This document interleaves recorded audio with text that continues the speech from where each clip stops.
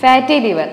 Fatty liver is a condition that is caused by storage or deposition of extra fat in liver. This is mainly caused due to our bad lifestyle and bad eating habits. Unless and until by not correcting this part, one doesn't get any result or cure from fatty liver. So, what are the lifestyle changes that need to follow in a fatty liver condition? First one will be the diet. Intaking of fast foods, fried and frozen foods which contain excessive fat and which is difficult to digest and having zero nutrition value is the first thing that to stop. While by avoiding this includes seasonally available fresh fruits and vegetables in our diet as a major part of our daily meals. Along with this, intaking food at proper time is also important. Lack of exercise and overnutrition is the main leading cause of non-alcoholic fatty liver. Thus, regular practice of exercise